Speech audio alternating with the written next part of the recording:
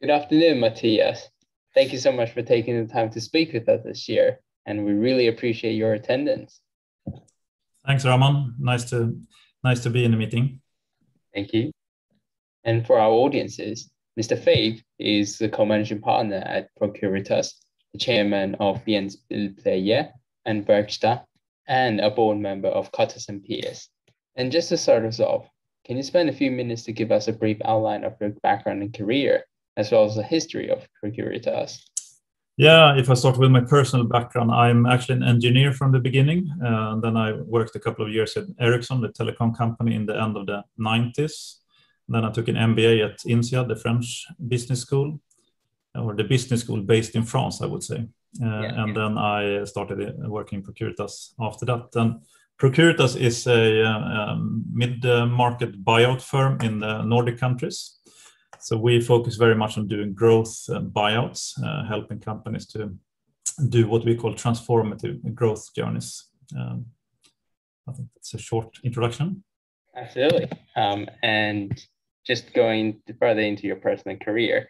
So you started your career in consultancy with uh, Ericsson before moving to private equity. Um, so my question is, so what was your biggest takeaways from your time at Ericsson as a strategic consultant? I think it's a number of things, but I, you know, when I worked in Ericsson, it was the telecom bonanza in the end of the 90s, and you know, I was traveling around the world. I was 25, 26, 27 years old, and I had a fantastic uh, journey uh, with Ericsson. Um, so I think just this um, international flavor, uh, I think that was great for me.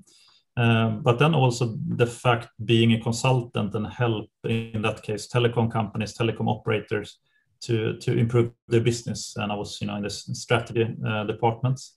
So I think it was um, it's a great learning school uh, for for actually taking the next step in my, in my, career. Yeah. And what prompted you to move into private equity? Because we know that you've done an MBA at INSEAD. Um, so was that you know a factor in you making the decision to um, transition across?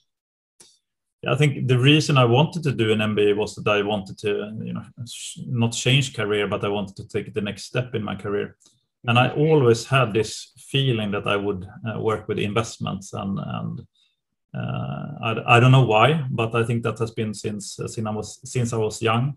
Even if if I studied in engineering, I was always focused on making uh, something in business and, and investments.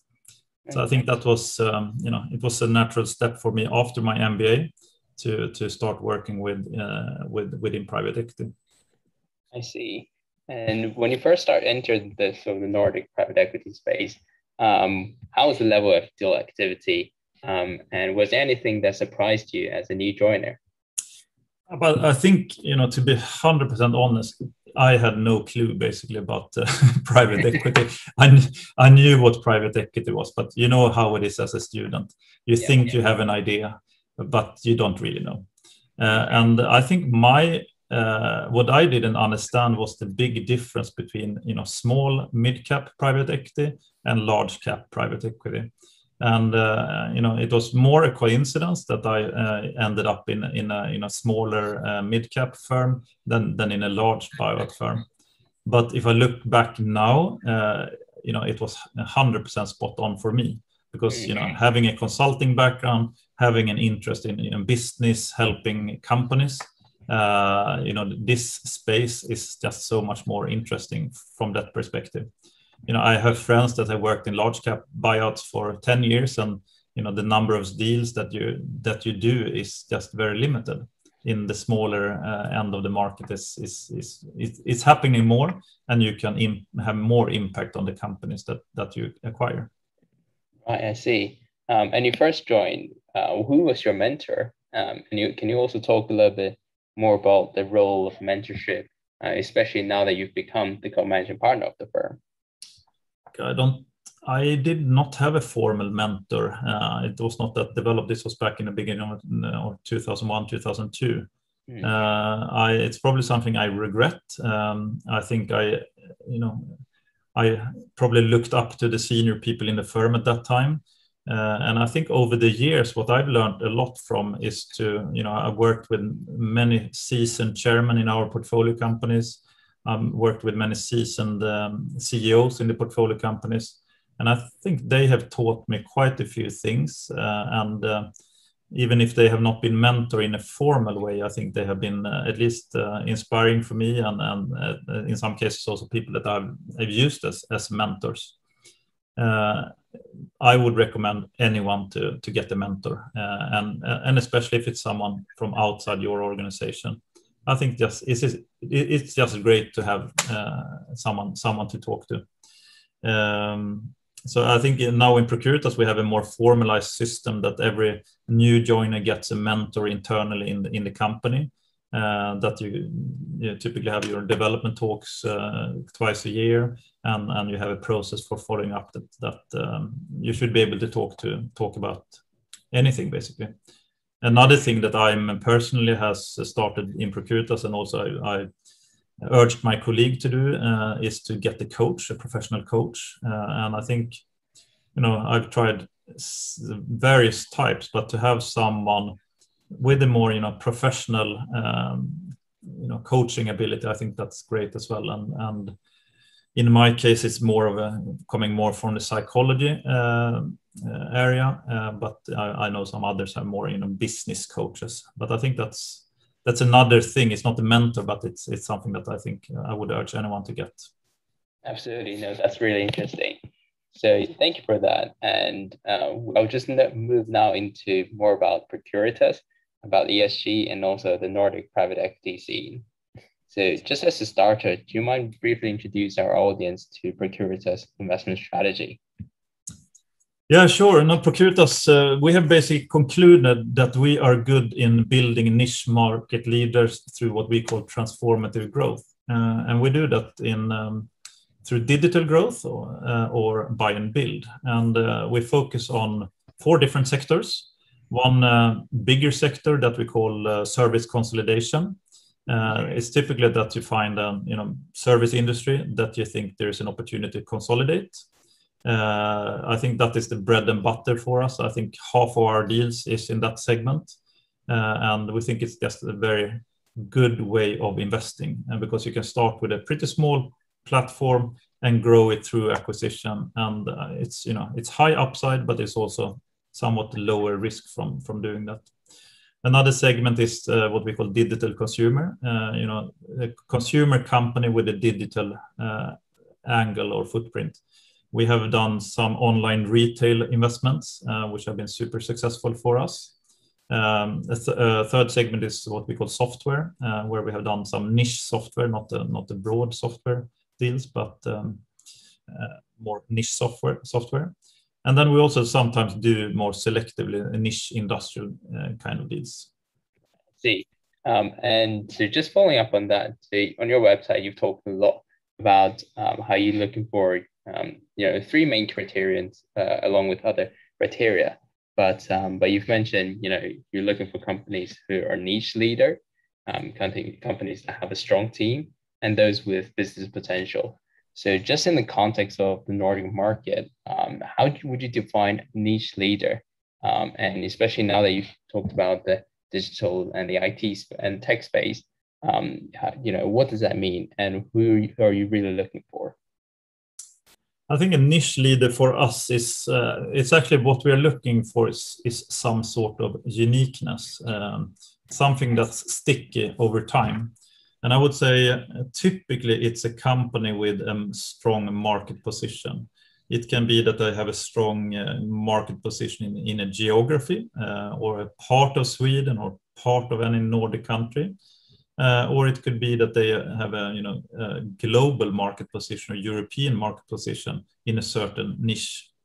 So I think that is probably something that we are um, very much focusing on in finding the the you know the niche position in a company and uh, and preferably with the potential to to grow within that niche.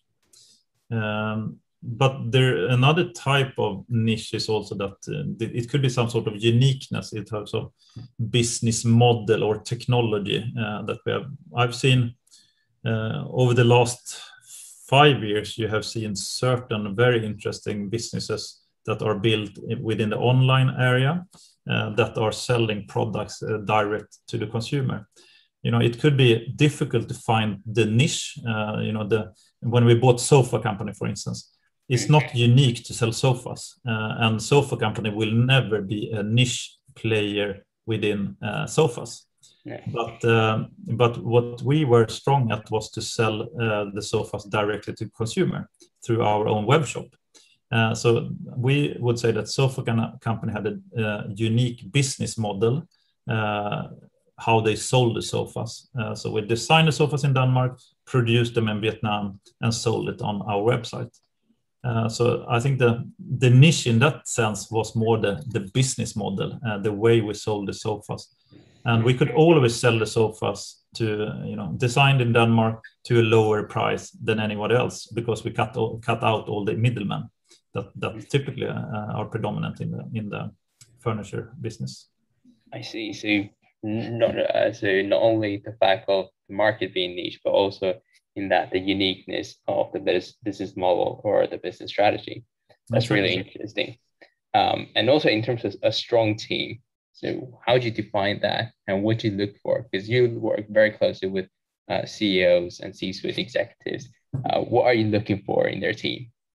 It's a great question. I think it's uh, probably one of the more central themes that we have uh, when we make investments because in our part of the market, it's uh, super important that you have a strong CEO uh, and and and, uh, and obviously a strong team.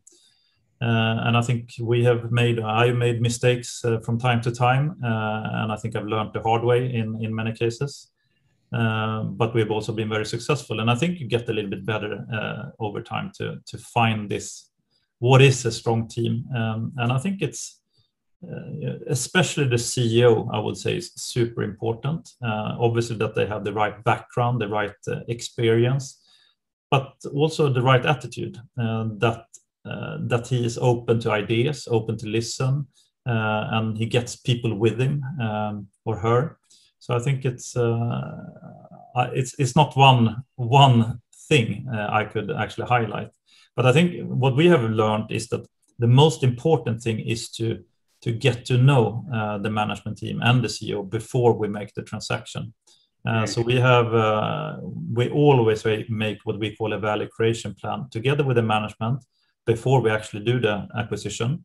Uh, that means that we uh, first of all have we have time together. We spend time together. We eat dinners together. Uh, we know each other. We get to know each other during that process. But also we we know what to do with the company together the CEO, us, but also the rest of the management team. So I think it's um, that's is in our segment is probably one of the most Im important thing to find the, the, right CEO and and get the right team in place. Right, I see. Um, and you've also touched on this before, in that you're looking more towards the you know transformational growth with small to mid-sized companies. Um, and but there there's competition out there and what would you say is Procuritas' competitive advantage in this space, if you were to define it? I think our competitive advantage is that we are doing the same thing uh, over and over again. We have a very defined investment strategy. Uh, obviously, we evolve and we develop, but the kind of deals, the type of companies that we invest in are more or less the same uh, time after time. And I think uh, now we just have a great track, record in helping these companies to grow. And I think that's if you look at competitive advantages, is partly that you have the experience, the knowledge, but it's also that you are able to tell entrepreneurs, uh, business leaders, you know, what you have done with other companies, uh, how we can help you. And, and I would say in most cases that we uh, see or companies we invest in, um, we want the management to choose us as a partner, uh, not just because we pay the highest price, but they think that we are a great partner to them. And you know, we have done several deals that are nine, ten times the money, uh, and we have built tremendous uh, companies, uh, starting from pretty small scale. And I think that track record is is uh, some sort of competitive advantage also in the deal process. Um, and I want to follow up on that just by talking you know, one of the latest transactions that you've done, which is obviously with Sofa Company to Lars Larsen Group.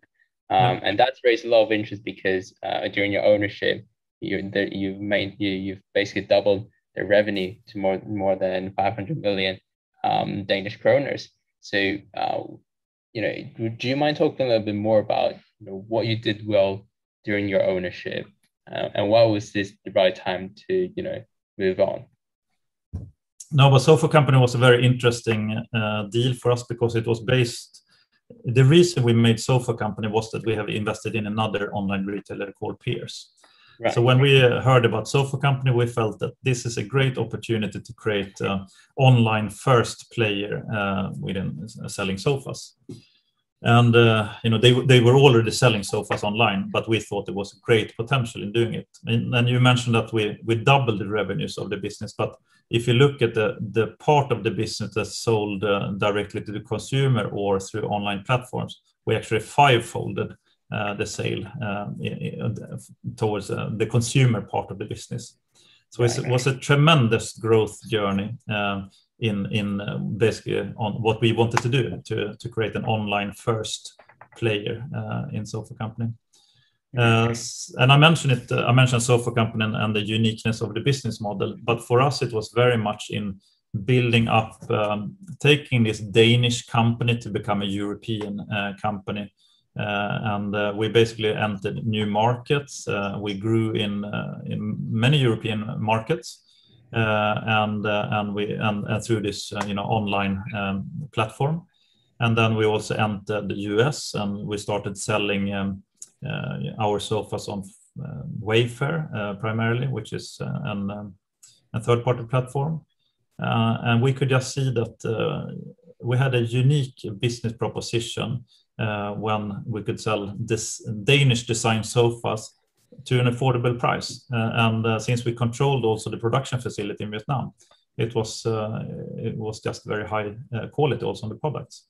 So we basically thought that we had a great product to great prices, and then we coupled that with very strong online marketing capa uh, capabilities in the company.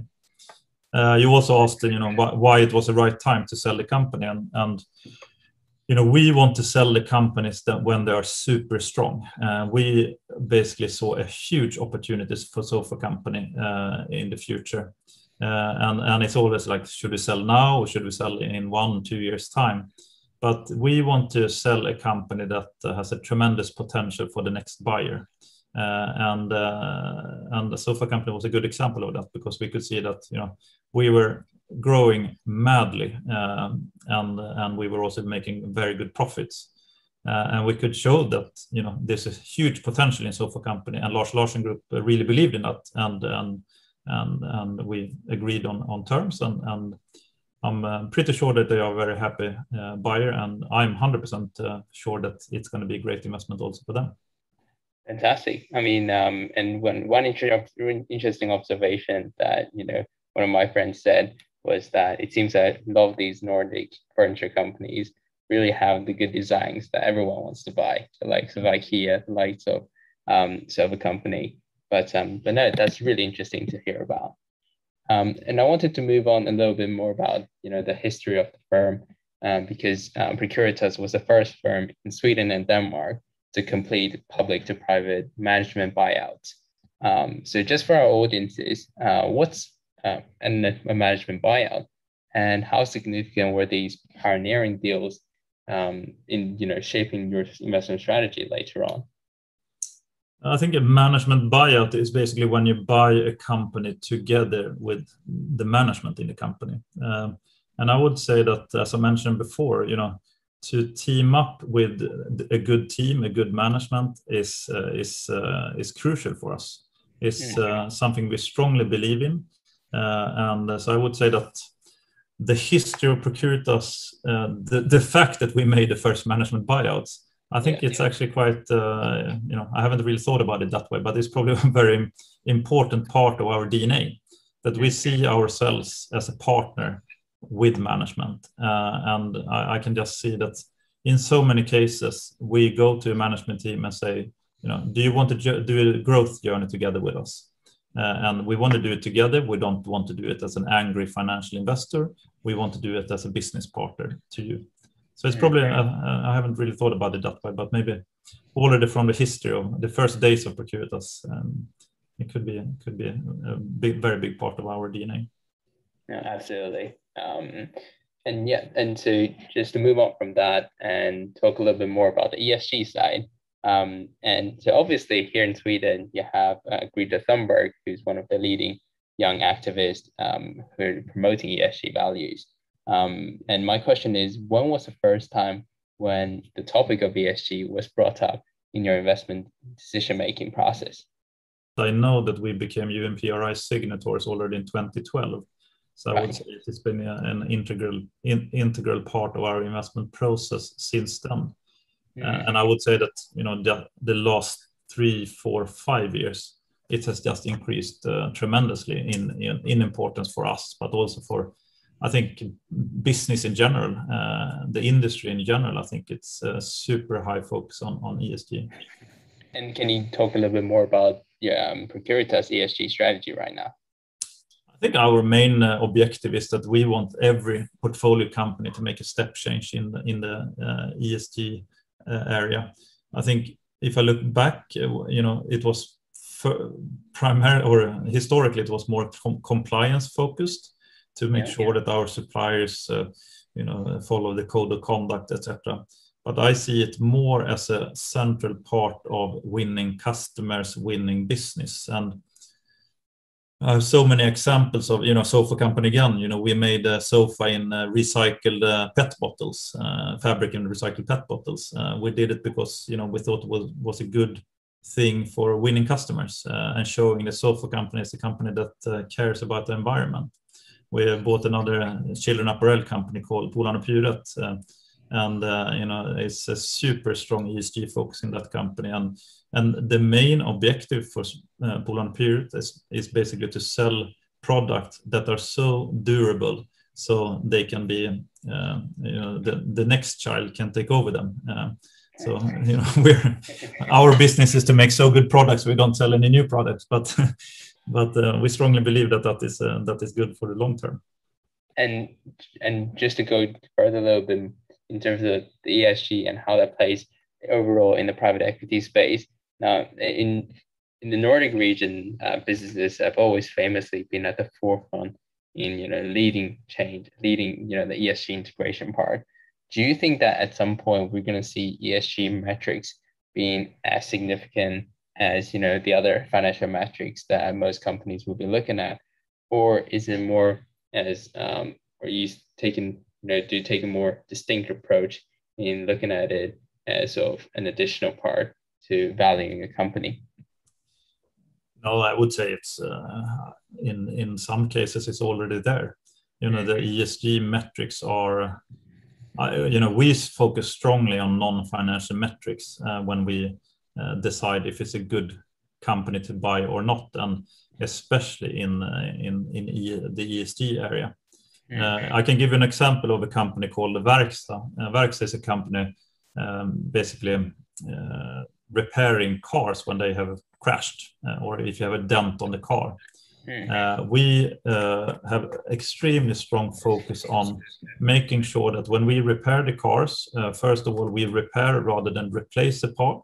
And if we need to replace the part, we try to find a second-hand part or in last case a new part. And you know to to make sure uh, we, we, you know we steer the organization that way uh, then we have super strong follow up on the on the uh, on the metrics to make sure that you know the number of plastic repairs increase and the number of used parts increase. But th- this is actually something that we uh, report back to the insurance companies uh, that pays the bill as well because also the insurance companies are focusing a lot on the ESG and they want to be more sustainable.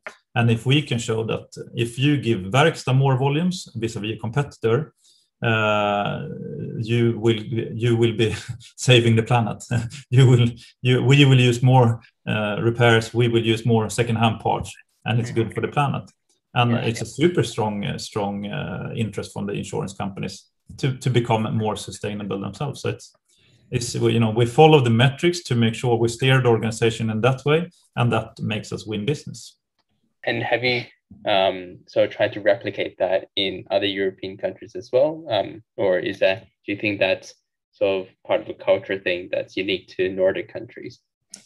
No, but I think it's. Uh, I would say that uh, uh, Sweden and, and, the Nordic countries are at the forefront of the ESG areas. You know, I'm talking to a lot of investors, and I can really see that we are we have, we have taken certain steps, uh, and we are a little bit in the forefront in this area.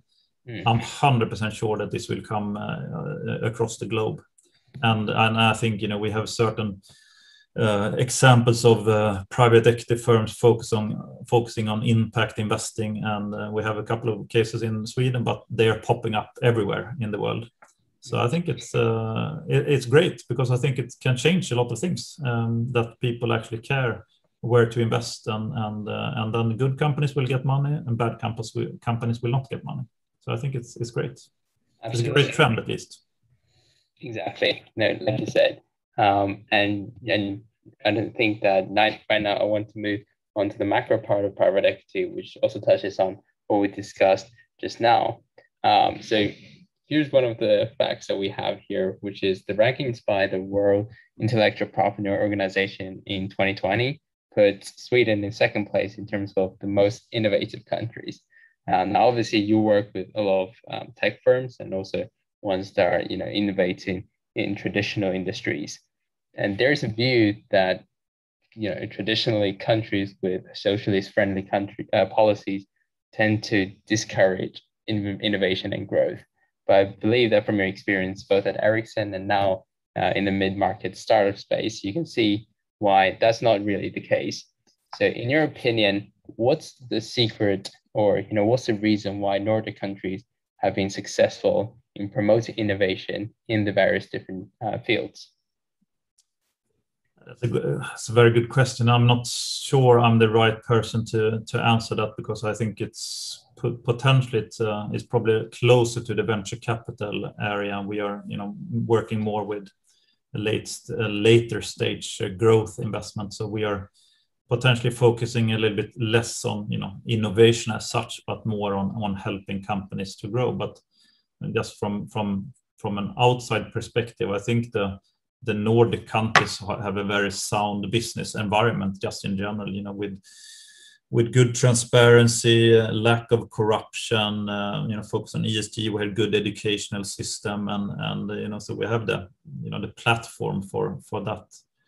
why you know there's uh, in, you said they're socialist countries, but we're good at innovation. I'm I'm not sure I'm I'm the right person to to you know say why. One, thing it strikes me a little bit is that you know Sweden and, and all Nordic countries has been quite successful in making big companies or creating big companies and you know we have uh, in many industries we have Ericsson we have uh, Volvo Scania Atlas Copco um, Assa Abloy whatever you know there are in so, in so many different sectors and I think that's that uh, you know if you have uh, very successful companies in one sector it spills over to other sectors. Uh, and I think just the fact that Sweden and the Nordic countries are so small is just very natural for us to to go international.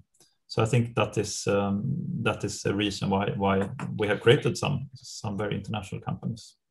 And also um, another uh, economic consultancy in the Nordic regions has said that you know since 2007 private equity has increased Sweden's GDP by close to five percent um, and so I wanted to ask, first of all, during this period of time, obviously when you're working in private equity, uh, what's the biggest difference that you see between then and now? Um, and what do you think, you know, is so one of the misconceptions that the public has on private equity? Uh, I think the uh, the main difference is that the whole industry is more professionalized. Uh, uh, and and obviously more competitive just in general. I think it's uh, to me it's obvious that uh, the the the industry consists of um, you know some very good firms like Procuritas uh, and that that are winners today, but they will also be winners in the in the long term. Uh, but it also consists consists of some gold diggers that you know uh, is good times and and they are able to get some money together and and they will start investing. I'm I'm not sure, or I'm, I'm pretty sure that all of them will not survive. Um, so I think it's you know you have really good firms, but then you have also potential question marks. Um, some of them will probably survive and, uh, make good deals, but uh, but not for uh, for sure. Um, I think the biggest misconce- misconception that, I think is that private equity is short-sighted. You know, we are we are not short-sighted at all. As I mentioned before, you know, we invest. Uh, we want to keep the company for five to seven years, and we want to sell a super strong company that means that when we plan you know the value creation in our companies we have a 10 year perspective 15 year perspective because we want to create a really strong player. And that's not short sighted at all. I think it's rather if you have are on a stock exchange and you have to care about the next quarterly report then mm-hmm. uh, there is a risk that you're short sighted that, that, but that private equity investors are short sighted I, I don't think that's correct. 100% um, and just in general, in terms of a Procuritas operation, you said how you know it's natural for Nordic companies and businesses to uh, go international given the size of the Nordic region. Um, would Procuritas ever consider you know expanding into other European countries or you know even internationally? Uh, I think it's uh, what I think uh, focus is uh, important just in general in business, and it's probably one of the most important words that you should should bear in mind uh, when making investment that should, you should be focused. If I, I, I would not rule out that we would go uh, international or do deals outside the Nordic countries, but we would only do it in sectors, uh, segments, type of companies that we know. So, as I mentioned before, we want to do investments, the same kind of investment over and over again.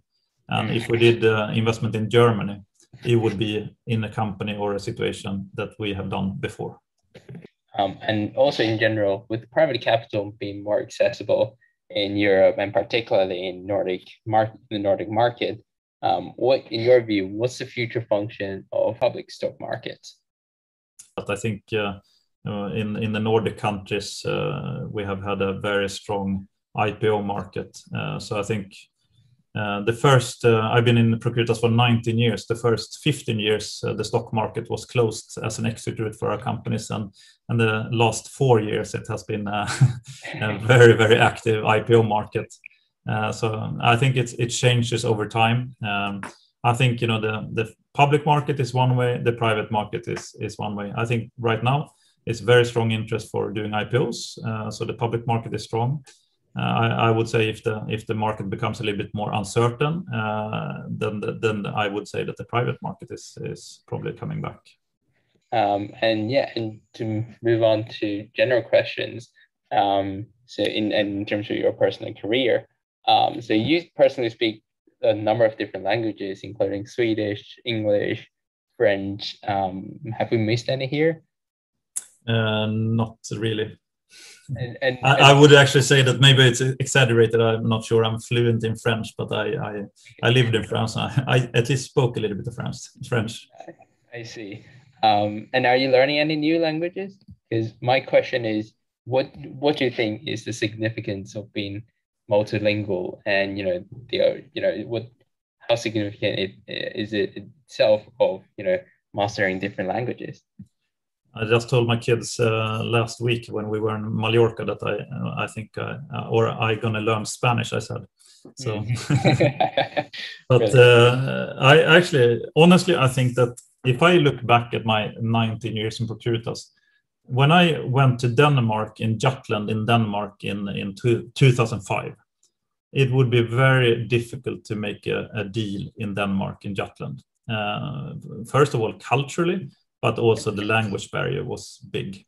Mm. Uh, I see in the last five years, it has turned quite quickly, uh, and you get around with English uh, much, much better than you, than you did before.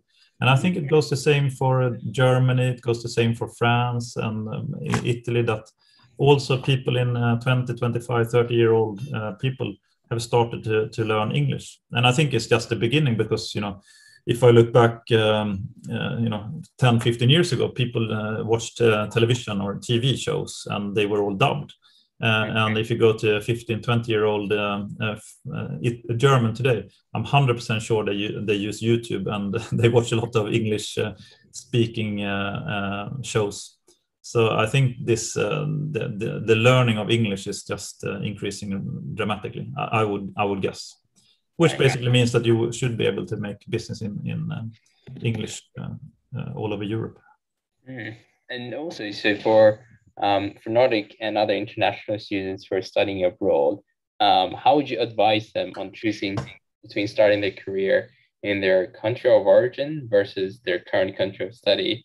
because obviously, um, you know, you've studied in Sweden, you've also studied in France, but you chose to start a career back in Sweden. Um, so, how would you advise students um, in making that decision?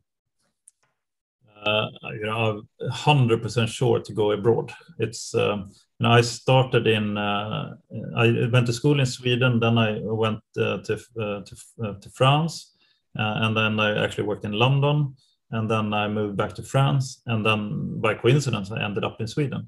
But right. it's such a great experience to live in another country and live in another culture.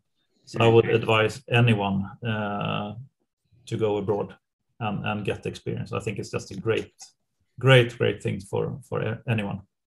Right, I see. Um, and also, just generally in business, um, what field or sector excites you most at the moment? or you know one that you would recommend students to keep a close eye on or to you know get involved in potentially no but i think uh, what if i look at our investments lately uh, you know the online retailers the online uh, the online uh, investments are you know amazing. You know the scalability of online companies is just amazing. And I, I, would say that you know digitally native brands, uh, brands that have started you know, digitally and and sell their products uh, digitally, mm. the potential in those companies is just uh, amazing. So I think it's uh, definitely one of the the most interesting uh, you know, investments uh, right now, and and obviously you have plenty of examples of companies that have started from basically nothing and, and very rapidly scaled up. Um, in, not only in their own country but also internationally. Um, and given given how you know how quickly the business world changes, and you've said how you know the way of you interacting with customers changes very quickly as well. Um, how do you personally approach you know the process of learning new stuff? I think it's just to be uh, open-minded, uh, just in general. Uh, actually, look at what ki your kids are uh, doing, what they are uh, watching. Uh, I actually ask my kids sometimes if they think there is a company I should look at, if they if there is a brand I they know I, that I don't know. so I think to to be open and, and, and want to find out, I think it's it's um, yeah, it's interesting. Um, and what does leadership mean to you? I think being a Swede and, uh, and uh, especially in Procuritas, for me, it's more uh, about teamwork and making sure that you get a team uh, in place that work well together. Mm. and I think, you know, in, if I look at private equity in general and, and how uh, I, I, see other firms and our leaders in, in our industry, I think it's more hierarchic and and uh, you know more dominated by by one or, or a few individuals. You know we try to nurture a culture that's uh, decentralized and you know people even at young level levels are are allowed to take responsibility and or even um, we want them to take responsibility. And that that can be anything from in early early on in their career to assume board positions to to be a central part of the investment teams. Um, so leadership for me is is uh, more about coaching than to tell people what to do, and make sure that you know the talent that we have that they uh, that they flourish and and uh, develop. Uh, so I think that that is probably leadership to me. How do you personally view risk in general? You know, how do you so think about it in terms of you making decisions? It's a good question. I think you have to take risk to generate returns. Mm. Uh, I think uh, sometimes in, internally I say that um, no guts, no glory. I basically, I, I, actually believe that you, you have to accept uh, certain types of risks. But it's you know when I when I go skiing, I like to go off piste skiing. Um, and uh, you know to take risks that I cannot control uh, or take passages uh, when you go skiing that are dangerous. Uh, you should not do. Um, but uh, or, or when the the con the, the uh, consequence of you falling or something is too big, uh, you should not go there. So you should take risks that are uh, that you can control in one way or another. Uh, and it can be uh, if you make a, a deal or a business. If you have a, a customer concentration, for instance, uh, if if your customer is too big, if it's fifty percent of your revenue, even if you do the diligence, even if you feel, feel comfortable with that risk, you should not you should not take that risk. It's a risk that you cannot control. It's, it's always a customer that can do something else or choose to do something else. And it's just the type of risk that you should not take. Mm. So you have to take risks, but you have to you it should be risks that can be controlled and that can be mitigated. And right now, what do you think is one of the uh, most concerning business risks that you see, where that's been, you know, another COVID variant you know supply chain um, issues or you know inflation in general? What would you say is uh, the biggest risk that you see at the moment? There are many risks out there. I think you know you, always have a, uh, a situation in, in some companies and, and uh, where you have supply chain problems that you don't find the raw material or the raw materials increase in price so much. Uh, we, we, can see that uh, products from uh, from Far East becomes more expensive, which will eventually probably lead to inflation. Um, personally, I'm probably more concerned about you know a, a setback on the financial markets because the, mm-hmm. it, it has been too it has the environment over the last what is it 10 years have been fantastic Mm. And uh, the only thing you know that it will not continue forever. Uh, at some point, there will be a setback. So you basically just have to make sure that you did your, you know, your businesses are sound and, and you can survive uh, a setback in the financial markets. I. I think that is probably the, my my main concern. When when will the this the the very strong market uh, uh, start declining? and and I think that's interesting. So when fir- COVID first hit, um, do you mind talking a little bit more about you know what was your reaction? Um, were there anything that you did with your you know portfolio companies in order to hedge against you know the potential disruption brought forward by COVID? Um, I'd be interested to know a little bit more about that. We have been around for such a long time, so we have seen many you know setbacks in the market and, and recessions and i think this was probably one of the least expected. Yeah. That way uh, so basically what we did uh, in uh, early march uh, we we heard about something in china in, in was it end of january february in 2020 but uh, already when we were back from the uh, winter break in, in end of february beginning of march we basically had all hands on deck we told all our portfolio companies, around 15 portfolio companies, to weekly send us um, uh, cash flow uh, projections, uh, cash flow cash cash flow status, and cash flow projections for the next uh, months. And I think we had a cost out program in almost all companies because we basically just wanted to prepare for the worst. We we had no clue basically where we would end up. Uh, so I think what we learned was that in many cases it was not as bad as we expected, um, but we ended up with companies that were um, that were much uh, in much better shape uh, when after the crisis or the COVID crisis than than before. Mm. And I think looking back, I think we have had a best one and a half two years in Procuritas history uh, over this um, pandemic. So. Mm that's interesting times. Absolutely, that, that's really interesting. Um, so I'll move on to the last section of the interview, um, which is the lightning round. So I'll shoot over a couple of questions, and I'd love to hear, you know, what you think about those and your answers. So, um, so are there any past or present figures that you look up to, and and could you tell us why? Um, one uh, person I uh, looked up to was my grandfather uh, when he was uh, still still alive. He was uh, he was probably the first businessman, you know, in a small scale, but you know, he was he liked business and and so that's uh, at least some, someone I looked up to. Uh, you know, in more recent times, um, he unfortunately passed away uh, some time ago, but um, in more recent times, you know, you have plenty of examples. I think you mentioned Greta Thunberg before. She's an uh, extraordinary example of a, of a young schoolgirl that just wants to change the world. And uh, mm. I, am sure that in 20 years' time, we will look back and, and, and still remember Greta Thunberg. So, yeah, someone who obviously someone to look up to. Absolutely. Um, and what would you say is one of the best decisions you've made throughout your career? No, for me, it's probably to move uh, into the investment field, to work with investments, um, and, and especially in, in you know our size of the segment, um, you know, not not the big the biggest investment, uh, you know, the where you have you know too much competition and, and too much um, you know London investment bankers, but uh, uh, to work in the companies where you can actually add value, I think it suits me very well and something I really uh, think is fun, basically. Absolutely.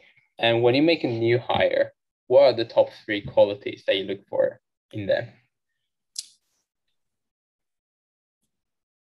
The most important parameter for us when we recruit someone is what we call that the person has passion for business. Mm-hmm. Uh, even on, on the most junior level, we want to see, you know, the we want to see in their eyes then when you start talking about uh, companies uh, strategy and business development that uh, someone likes to discuss that and uh, i think that's uh, probably the most important uh, quality that we are looking for in, in new hires from junior to senior level basically and and it's it suits our market segment and, and it suits obviously it suits Procuritas very well. Another thing that's super important for us is diversity in general, diversity of backgrounds, um, diversity in personalities, diversity in uh, gender. So we focus very much on building a team that with high level of diversity. So that's another thing. We, we basically think it's good to have a balance in the team. Yeah. I see. Yeah, and and you've talked to previously about you know the role of leadership. I think that's very interesting to note. Um, and what are some of the best books that you've read that shaped your worldview and you know how you think about different things? Uh, obviously, many. I think one uh, that it changed uh, uh, how how you look at things is obviously this uh, book called Factfulness by Hans Rosling. It's, uh, it's I think it's a bestseller also internationally. Uh, unfortunately, he passed away, but it's um, it gives a lot of insight uh, about uh, the world and and uh, how things are incorrect that or the, the way we view things, things is incorrect. Mm. There is another book I actually came to think about is uh, called um, in Swedish it's called Hjärnstark. It's um, strong brain or something. it's Anders Hansen. He's a psychiatrist that written a book about that you should physical training is good for your brain uh, and uh, you know you should have um, physical training uh, four times a week that that makes you with that your pulse has to increase to a certain level. Uh, and it's good for your brain. And, and he, he built a storyline in a very scientific way. We'll, we'll have to check that out after this. Um, and post COVID, um, which country or area do you want to visit the most? Um, I mean, we're currently sort of in that region already, but um, is there any, you know, travel places that you really want to travel or visit? I just came back from Mallorca, so in Spain. So I would say that uh, you know have I've not been able to travel for one and a half years. So I think uh, basically any country is, is is good right now. Everyone wants to just go traveling, which is uh, unfortunately something we have. I think we have to consider uh, how much traveling we should do given the the climate uh, uh, problems that we have. So it's mm. going to be interesting to see how we can adapt the way we are living. Absolutely. And if you can tell your 20 year old self anything, what would it be? Um,